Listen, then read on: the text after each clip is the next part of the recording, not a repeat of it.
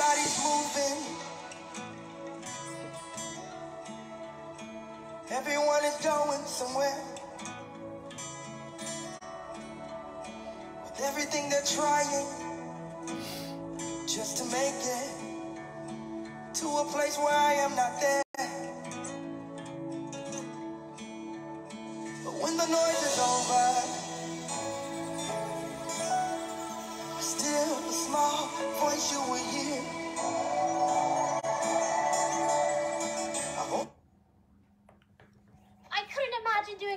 dog without Sorry. Amu-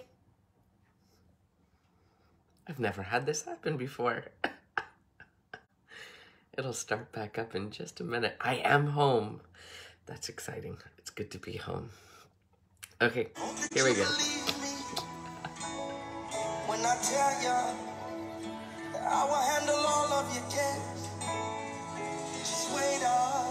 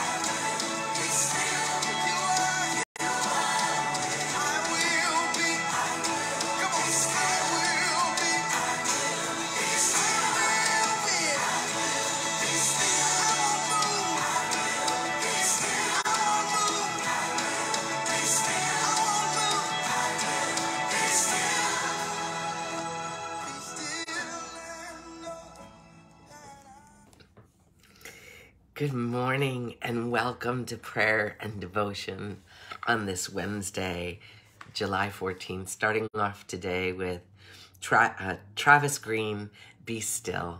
Um, it is good to be with you. Uh, it is good to be back in New Jersey, uh, out of the stairwells of Texas, but God was good uh, even in the midst of all that. And so I'm glad to be with you today. And uh, thank you for all the welcome homes. It is it is definitely good to be home. So let me take a minute and say good morning to all of you. Good morning, Augusta, and good morning, Yo- Yolette. Welcome, holding you in prayer today. Good morning, Lisa and Priscilla.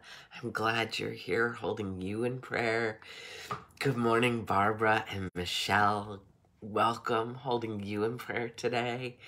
Good morning, Donna and Debbie. I'm glad you're here, holding you in prayer today. Good morning, Susan and Genevieve. Welcome, holding you in prayer today. Good morning, Georgiana. And I feel like I said hi to, yes, Georgiana and Andrew. Welcome, holding you in prayer today. And good morning, Betty and Celia. Celia, thank you for that prayer yesterday. Gave me strength during the day, holding you both in prayer today. Good morning, Ingrid, and good morning, Renetta. Welcome, holding you in prayer today. Good morning, Daniel and Vinette. Uh, yes, God is in control. I'm glad you're here holding you in prayer today. And good morning, Pris- um, Rosetta. Good morning, Rosetta. It's good, it's good to have you here today, holding you in prayer. So, as we start off our day together today, um, we're going to be looking at Mark 6, verses um, 30 through 32. Mark 6, verses 30 through 32. So if you want to open up your Bibles, we were in Mark uh, yesterday as well. We're back to the Gospel of Mark, chapter 6, verses starting in verse 30. And as you're opening up your Bibles, um, my name is Cindy Stauffer. And I have my blessed and grateful mug today. Blessed and grateful to be home. Blessed and grateful to be with all of you. And blessed and grateful to be the pastor at the United Methodist Church at New Brunswick in the heart of our city, shining God's light to uh, so many in our community uh, seeking to be light and life uh, in our city uh, right on the corner. Did I say George and Liberty? See, this is what happens. I'm not quite on uh, Eastern time yet, but it is good to be with all of you. I'm glad you chose to wake up and join us this morning. So let's jump into Mark 6, chapter, uh, Mark chapter 6, verse 30. We're going to start in. And this is what our scripture tells us. The apostles gathered around Jesus and told him all that they had done and taught. And he said to them, Come away to a deserted place by yourselves and rest a while. For many were coming and going, and they had no leisure even to eat. And they went away in a boat to a deserted place by themselves. So our devotion um, today comes from Bob Goff's book, uh, "Walk a Living Grace Walk in Love," and it is entitled "God Made Beauty to Leave Us Speechless." God dazzles us so that we'll pause and listen for God's voice. God dazzles us so that we'll pause and listen for God's voice. And this is what he says about Mark 6. He says, We all need to go and be restored. Maybe it's a family lake home or that favorite trail you like to hike. Or it could be road trips into the country or riding horses or baking. My surefire place of rest and refuge is a place called Princess Louisa, Louisa Inlet in Canada. And it's a place that holds most of my dearest memories. Every time we return from the inlet, I try to scheme ways to bring the spirit of rest I experienced back with me. Because here's the truth the real magic in finding rest isn't specific to the places that we go. It's about the spirit or rest we return with. It's about um we I'm sorry. We go to a lake or a farm or a favorite river because we want to pause long enough to calm the noise in our lives. We want to tune back into what's most important. And I think that's one of God's re- one of the, one of the reasons God created beauty like lakes and rivers and forests to dazzle us. They're sanctuaries disguised as nature, reminding us to pause and to listen for God's voice. But we don't need to fly to Canada or take road trips to find them. We can find peace and stillness by tagging out from some of what would normally fill our days and having a picnic in our backyard. We can best tune in to God's restorative voice by sitting silent long enough to hear God speak. Don't believe the lie that you have to go away to be restored. Find a way to create a sanctuary in your daily life. Because these safe places are within reach if we'll stop long enough to see them. So the question today is where is your favorite place to rest? So I'm coming off of uh, being away. It was supposed to be two weeks or, or, a little shy of two weeks. Turned out to be a little bit longer. It didn't end very restoratively, uh, unfortunately. Um, but if I can just go back even a week ago, um, there were these wonderful moments in our time away of just pure rest and silence. Where I remember um, I was sitting outside of this place that we were staying and Steve was over in the one corner of the backyard and and I was resting in a different area. And we weren't we didn't have our computers on we weren't even watching anything we weren't reading anything we were just resting and there was this beautiful quiet and I remember thinking, how is it that we're just not doing anything? But it feels really good. Um, I think so often we live lives where we're, even when we have downtime, we fill it with space. You know, what are we, what what are we thinking about? What what are we rushing to next?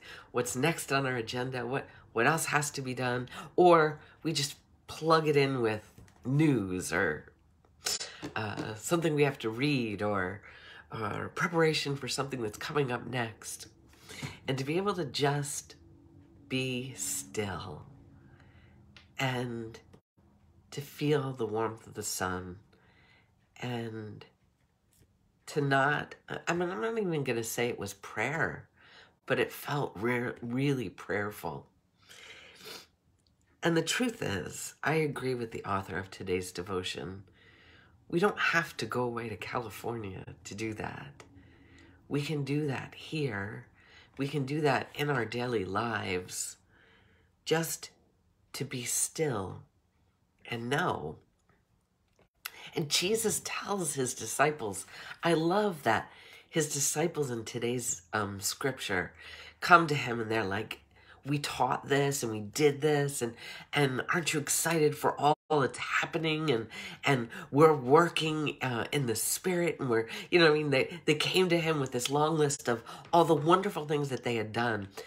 And i'm sure that on some level they wanted jesus to be like good job i'm so proud of you and what jesus says is you need to go apart and find rest that's so interesting. That was his response to them. You have been going at this. You haven't eaten. That's great, all this work that you're doing. But what are you doing to rest? And rest was so integral, even though just a couple verses later in the same scripture, the people continue to come, and Jesus turns and begins to heal them again. But rest was so important. Time in prayer, time apart, time listening for God's voice was so important to Jesus. And it is important for us as well, my friends. So, no matter where you are today, whether you are on vacation, whether you are home for the day, whether you are off to work already, take moments to just be still. Not just still in body, still in mind, still in your heart. Drop all the things, the constant going through of what's next, and be still. Come with me by yourselves to a quiet place, Jesus says. Come with me by yourself to a quiet place.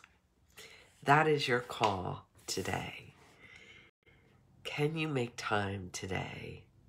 In the midst of the busyness, in the midst of the storms, in the midst of getting ready uh, for the day ahead, can you find time to go away, to come with Jesus by yourself to a quiet place? Doesn't need to be California. You can do it right here in New Jersey or wherever you're from. I know I've got people from Florida and Texas here today as well. Come with me by yourself to a quiet place that you might hear more fully God's voice today. Let us enter now into a time of prayer. Good and gracious God, we come to you today grateful for all the ways that you have brought us through. Lord, I thank you for um, bringing me and my family safely home.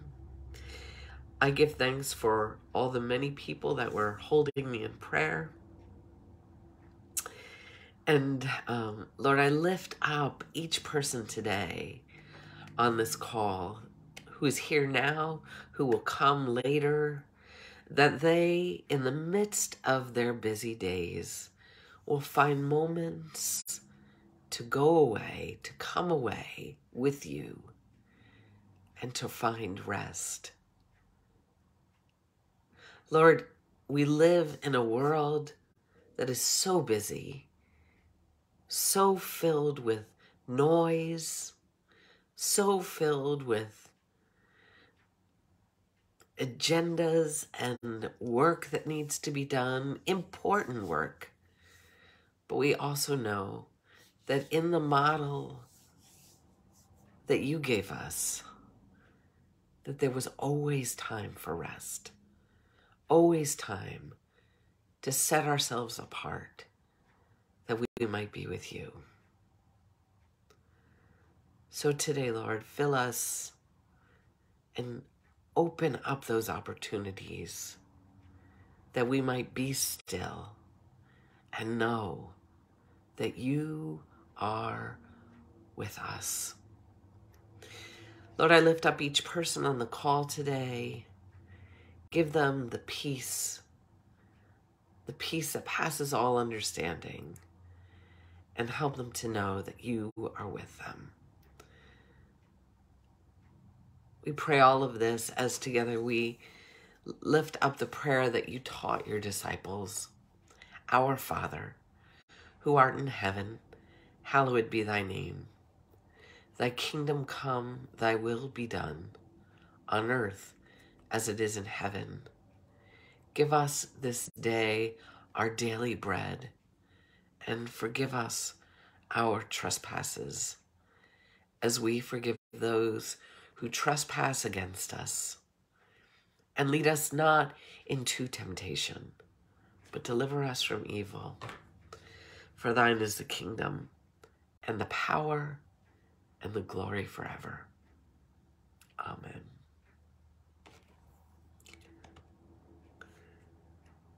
Come away by yourself to a quiet place. Where will you find rest this day, my friends? God loves you, God loves you, and so do I. I hope you have a very blessed day, and I look forward to seeing you all tomorrow on Thursday, prayer and devotion. Have a blessed day. Bye, friends.